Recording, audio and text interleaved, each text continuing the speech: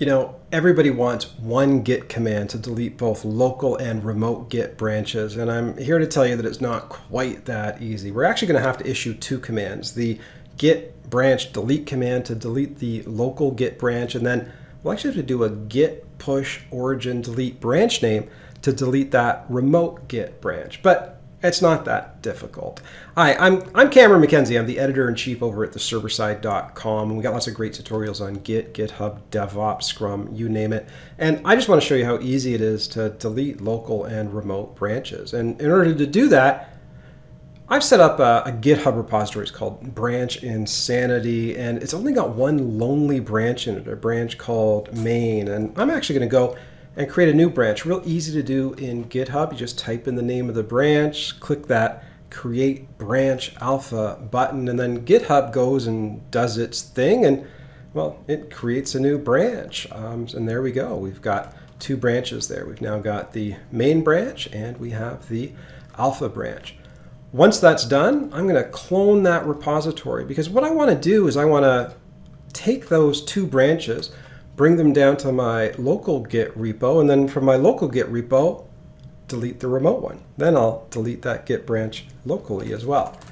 So to do that, I issue a clone command. So git clone, the name of the branch, the name of the GitHub repository that whose URL I just copied.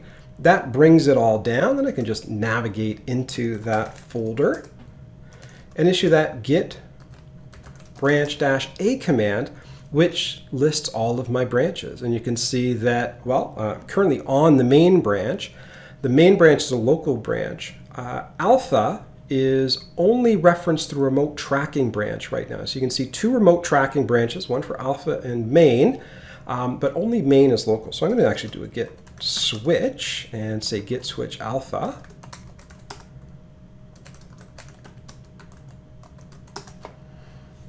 And then after doing the git switch alpha, I can do a git branch dash a. And now that tells me that, okay, alpha and main are both local branches. Um, and I'm actually going to switch back to main as well. It's going to make my life a little bit easier in the future. Okay, so what do I want to do next? Well, I want to actually delete that remote branch named alpha. How do I do it? You got to do a git push command. And you say git push origin which just the name of that remote repository. Git push origin, double dash delete, and then the name of that remote Git branch you want to delete. So git push origin, double dash delete alpha. Click enter, and boom, all of a sudden, it tells me that that remote branch is deleted. But I'm from Missouri, so I want to make sure. I need to be show. Missouri is a show me state. And so I come over here, I do a refresh, right? I, I, I, want to make sure I refresh. And after doing a refresh, you can see there's only one branch remaining over here. The only branch remaining over here is that main branch. So the delete of that remote branch was successful.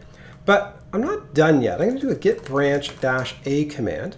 Now you can see that the remote tracking branch for alpha has been removed. So that's good. We've got the remote branch removed, the remote tracking branch for alpha removed, but that alpha branch is actually still there. We need to delete it from our local repository. Now I did a trick earlier. I actually switched off of the alpha branch onto main. You can't delete a branch if you're on it.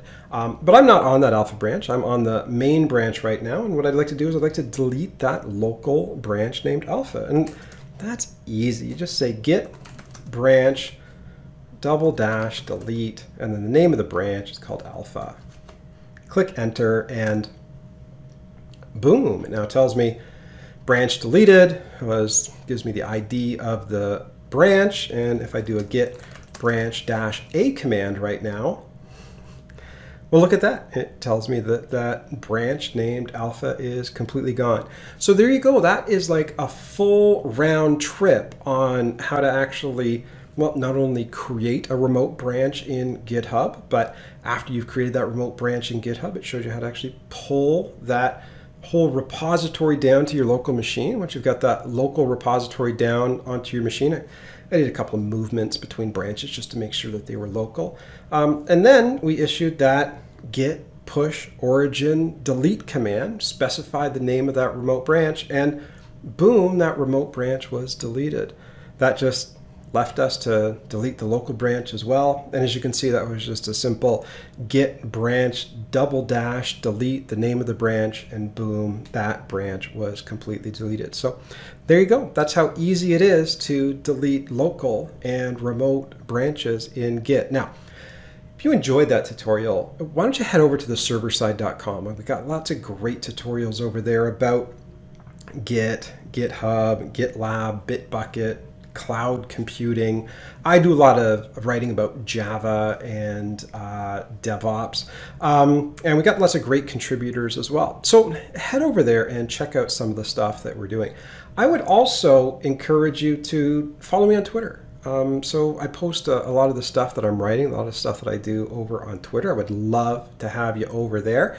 Um, and uh, and what else? Well, I would say subscribe on YouTube. Uh, I've been posting a lot of material on YouTube as well, and I'd love to have you as a subscriber. So ring the bell, subscribe. There's lots of more great Git, GitHub, DevOps content to come.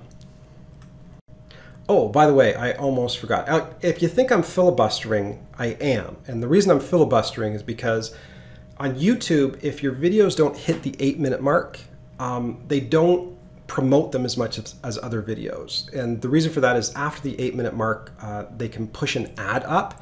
If it's less than eight minutes, they can't do the ad, but if it's eight minutes, they can do the ad. So I'm sitting here looking at like two minutes and 30 seconds to go in order to push this past the eight minute mark. So I'm just going to keep filibustering until I've hit that mark. But something that might interest you is uh, I do a lot of Java development. So I wrote a book called uh, Hibernate Made Easy, all about Java. And a lot of people wonder why that book's cover is so ugly. And there's actually a good reason for that. And the reason for that is because I wrote another book called Pickering is Springfield. It's all about how the uh, town of Springfield in The Simpsons is all based on Pickering, Ontario. A lot of people don't realize that. They think it's based on something in Seattle, but it's not. And uh, finally, um, I also helped out one of the contributors on the server side is Darcy DeClute, and she wrote this awesome Scrum Master certification guide. So I know that a lot of people that are doing Git, um, working with GitHub, well, they're probably also doing agile software development, and Scrum is the number one agile software development framework out there. Um, and so, if you really want to advance your career, you might want to pick up a copy of that book. So, there you go. That's the Scrum Master Certification Guide, Hibernate Made Easy, Pickering is Springfield, all available on Amazon. And have I hit the eight minute mark here yet? I have? Okay. Well, anyways, thanks for watching, and I hope you learned a little thing or two about how you can very easily delete local and remote Git branches.